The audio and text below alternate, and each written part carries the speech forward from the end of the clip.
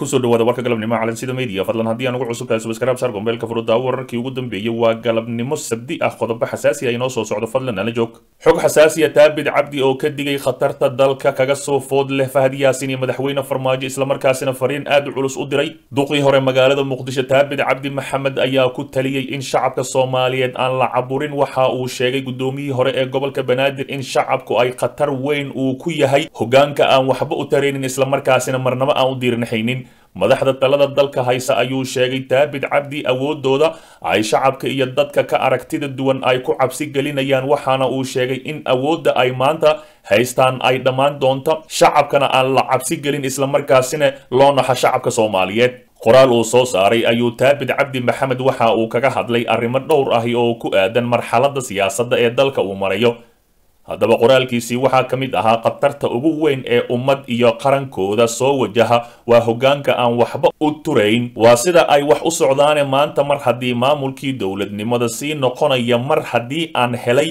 waxba dhowrsan maayo oo cid kasta waan xasuuqayaa awooddu waa dab oo kale waad ku baacin kartaa dadka kale wakhti gaaban balse ogow dabka adiga ayaa gacanta ku haya. Haddaanan lagaa qabanna waa adiga cidda ugu horraysa ee ku gubanaya. Haarta ugu weyna uu kugu reebayo taas oo ula jeedo fahad yaasin iyo madaxweyne farmaajo islamarkaasina dabka ay gacanta ku hayaan.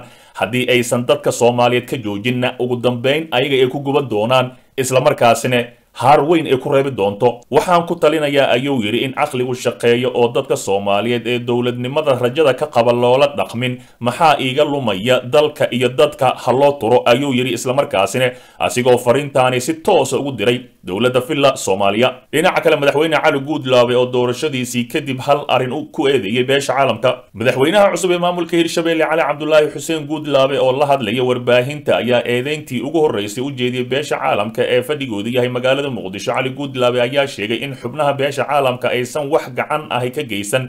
Dhismaha maamulka hirshabelle iyo doorashada ka dhacday jowhar sidoo kale wuxuu tilmaamay in iyagu ay tashadeen islamarkaasina ay dhisteen maamulkooda sida uu hadalka u dhigay beesha caalamka wax gacan ahi oo ay nagu siiyeen ma jirto dhismaha hirshabelle annaguna waa tashanaynaa ayuu yidhi madaxweyne cali guudlaabe. Madaxweynaha cusub ee hirshabelle oo hadalkiisa sii wata ayaa ammaan iyo bogaadin u jeediyey odayaasha dhaqanka iyo gudiyada dhismaha ee maamulkaasi ee ka shaqeeyey soo xulista xildhibaanada cusub iyo doorashadii madaxweynaha iyo ku-xigeenkiisa.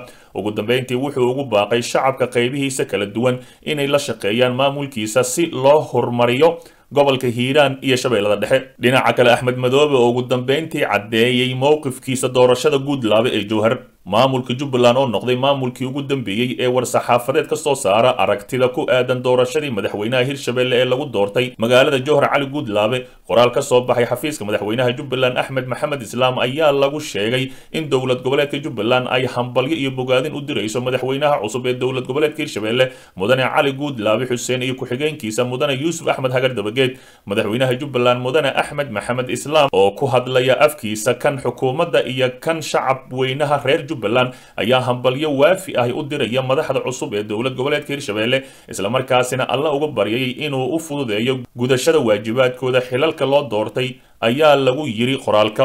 Ugu dambeyntii madaxweyne axmed madoobe ayaa ugu hambaliyeeyey shacabka dowlad goboleedka hirshabelle oo si nabad ahi dhacday doorashada madaxdooda una rajeeyey inay sii xoojiyaan nabadda iyo dhismaha hanaanka dowladnimo ay haystaan. Cali guudlaabe ayaa noqday madaxweynaha keliya ee doorashadiisa aanay ka dhalan wax khilaaf ahi ayada oo mucaarad iyo muxaafid ay si isku mid ahi u soo dhoweeyeen taasi oo ka duwan madax goboleedyadii hore ee khilaaf xooggan uu hareeyey doorashooyinkoodii halkaasi ka dhacay. Mucaaradka ayaa inta badan ku eedeeyey in dowladda inay faragelin ku hayso maamul goboleedyada ayna si musuq maasuq ahay ku soo saartay madaxweynayaasha galmudug iyo koonfur galbeed hase yeeshee way ka gaabsadeen inay eeday noocaas ahi u jeediyaan doorashada hirshabelle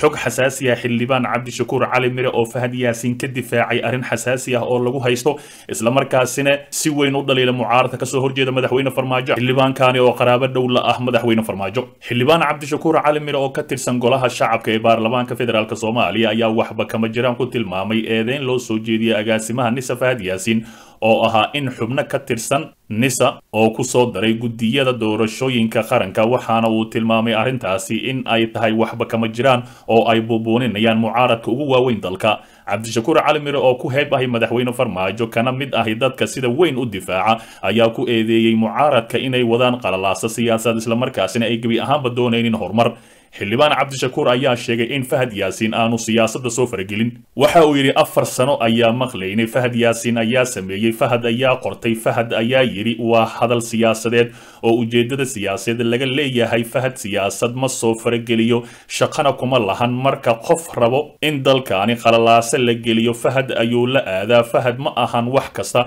ayuu yidhi cabdishakuur calimire oo la hadlayay idaacadda v o e da ee afka soomaaliga hase ahaatee fahad yaasiin ayaa la rumaysan yahay in saddex sano iyo barkii la soo dhaafay uu lahaa saamaynta ugu badan ee go'aanka gaarista siyaasadda dalka waxaana la aaminsan yahay marka loo eego howsha sirdoonka ee loo egmaday uu kaga fara dhuuban yahay xagga siyaasadda uu aad u milan yahay. Si kastaba ha ahaatee xildhibaankani oo madaxweyne farmaajo qaraaba dhow la ahi ayaa dhulka la galay mucaaradka islamarkaasina sheegay in mar kasta ay afka ku haayaan fahad ayaa saan ah fahad ayaa yidhi fahad ayaa sidaan ahay. Islamarkaasina xildhibaanka ayaa si weyn u difaacay ina adeerkiisa farmaajo iyo fahad yaasiin dhinaca kale madaxweyne farmaajo oo saxiixay heshiiska doorashooyinka soona saaray war cusub madaxweynaha jamhuuriyadda federaalk soomaaliya maxamed cabdilaahi farmaajo ayaa saxiixay heshiiska siyaasadda ee doorashooyinka dadbankaas oo golaha shacabka iyo aqalka sare ay si wadajir ahi cod aqlabiyad leh ugu ansixiyeen lix iyo labaatankii sebtembar laba kun iyo labaatanka. Madaxweynaha ayaa tilmaamay in saxiixa heshiiskani uu caddayn buuxda u yahay sida ay uga go-an tahay maamulka uu hogaamiyo sii ambaqaadida hanaanka dimuqraadiyadeed ee dalka iyo qabsoomidda doorashooyinka saldhigeedu yahay heshiiskii muqdisho ay ku gaareen madaxda heer federaal iyo heer dowlad goboleed toban iyo toddobadii sebtembar laba kun iyo labaatanka waxaan dalka u jihaynayaa doorasho laga soo bilaabo kowdii bishii oktoobar ee sanadkaani oo aan la saxiixanay madaxda dowlad goboleedka dalka heshiiskii habraacyada doorashooyinka. Waxaan qaadanay tallaabooyin heer federaal ee ku aadan qabsoomidda doorashooyinka iyo dhaqangelinta dhammaan qodobada ku jira heshiiska siyaasadeed ee jihaynta doorashada baarlamaanka federaalk soomaaliya. Madaxweyne maxamed cabdilaahi farmaajo ayaa ku bogaadiyey madaxda dowlad goboleedka iyo maamulka gobolka banaadir dadaalkii ay ku bixiyeen in heshiiska laga gaaro wadahadaladii ku saabsanaa hanaanka doorashooyinka dalka ee qabsoomay samareeb iyo muqdisho sidoo kale madaxweynaha jamhuuriyadda federaalk soomaaliya ayaa ugu mahad celiyey guddoonka iyo xildhibaanada golaha shacabka iyo aqalka sare. Dhammaystirkii habraaci uu sharciga ku noqday heshiiskii siyaasadda ee doorashooyinka. Ugu dambeyntii madaxweyne maxamed cabdilaahi farmaajo ayaa faray xukuumadda dardargelinta doorkeeda ku aadan fududaynta qabsoomidda doorasho waafaqsan. Heshiiskani ay ansixiyeen baarlamaanku kuna meel maray saxiixa madaxweynaha federaalk soomaaliya dhinaca kale dowladda federaalk soomaaliya oo ku baaqday in la joojiyo colaad beeleedyada ka socda gobolka gobollada dhexe ra'iisul wasaare ku-xigeenka dalka mahdi maxamed guuleed khadar ayaa ku hadlay magaca dowladda federaalk soomaaliya ayaa ku baaqay in la joojiyo dagaal beeleedka ka socda deegaano ka tirsan gobollada dhexe ee dalka gaar ahaan gobollada mudug iyo galgaduud. Ra'iisul wasaare ku-xigeenka dalka waxa uu sheegay in xilligaani aan loo baahnayn colaad sokeeya islamarkaasina nabad ay wadaagaan ay ka wada noolaadaan dadka walaalaha ahi ee halkaasi wada dega. Ra'iisul wasaare ku-xigeenka dalka mudane mahdi maxamed guuleed khadar waxaa kale oo uu sheegay in shirkii toddobaadlaha ahaa ee golaha wasiirada ay ka mid ahaayeen waxyaabaha looga hadlay dagaalada ka soo cusboonaaday dalka islamarkaasina dowlad goboleedyada galmudug iyo dowladda dhexe kala shaqaynayso sidii loo xalin lahaa. Dagaalka waxaa ka wanaagsan dadka inay ka shaqeeyaan walaaltinimada si qabyaalada iyo wada noolaashaha is-aqbalaada iyo wada noolaashaha waayo dagaalka waxa uu saameeyey dad badan oo aan waxba galabsanin. Marka waxaan ku baaqaynaa in dagaalka la joojiya ayuu yidhi mahdi guuleed khadar